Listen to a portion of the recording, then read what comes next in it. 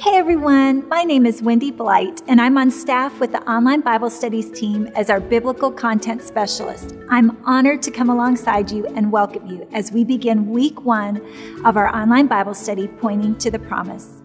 Each week, we have the honor of hearing from the author of our study, Kayla Ferris.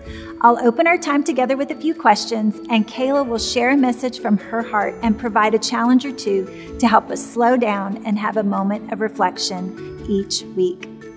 Now, why a moment of reflection? Because if you're like me, it's easy to get lost in the busyness of the season and forget that the true purpose of Christmas is to celebrate the birth of our Savior. It's our prayer that these moments of reflection will slow us down and refocus our hearts and minds on Jesus, even if it's only for a few minutes. Every week of study, we'll choose one word to ponder. This week, our word is promise. Did you know that God fulfilled every promise He made about Jesus? Oh, how I wish we had time to walk through all those promises. Now, let's hear from Kayla. Kayla, how could we remember our God is a God who keeps his promises as we begin our study? Hey everyone, my name is Kayla, and I am so excited to study pointing to the promise alongside you.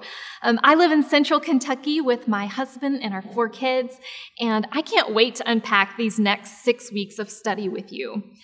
So, Wendy, your question about how we can remember that our God is someone who keeps his promises is such a great question. And this is what I love about the Christmas story. If I were to ask you, what is Christmas really about? You know, you might mention it's about Jesus being born as a baby. And you're absolutely right. But what does this mean about God's promises? See, way before Mary found out that she was pregnant, all the way back to creation, God made big promises. Um, he promised a man named Abraham that through his family, the entire world would be blessed.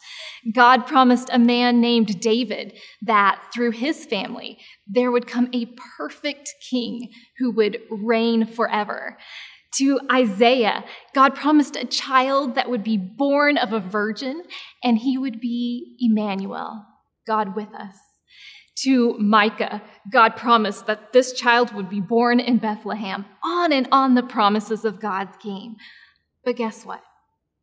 Abraham, David, Isaiah, Micah, countless others, they never saw the promises fulfilled in their lifetime. Do you think they ever had questions or doubts or you know maybe they wondered if they had even heard God correctly? Would God really do what he said he would do?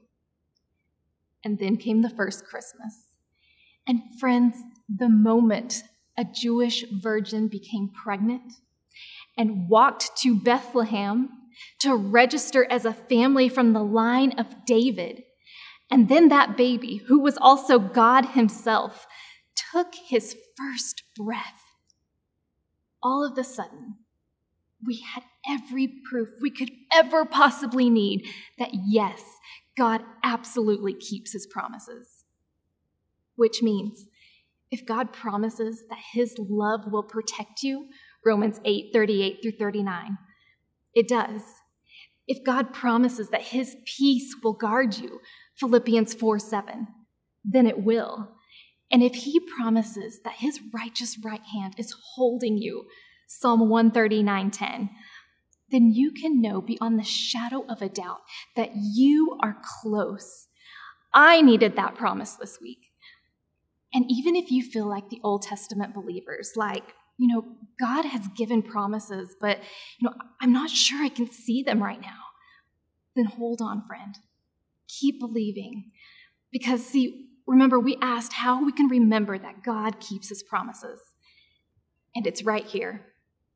The Bible is our proof. And we can read it and we can see that everything God promised about Jesus, he did. This is our proof.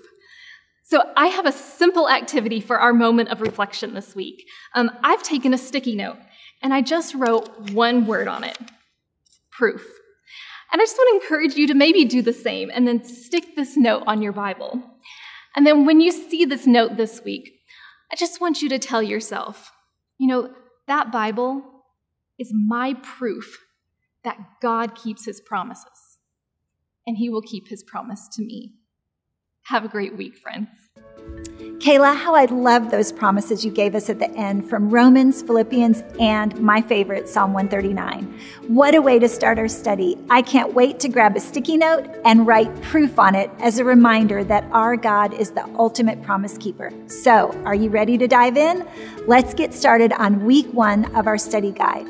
It's filled with truth from God's Word. And if you've been with us for a while at Proverbs 31, you know we believe when you know the truth and live the truth, it changes everything.